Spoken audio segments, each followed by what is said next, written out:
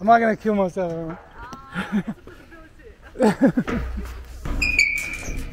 Holy crap. Oh. Uh,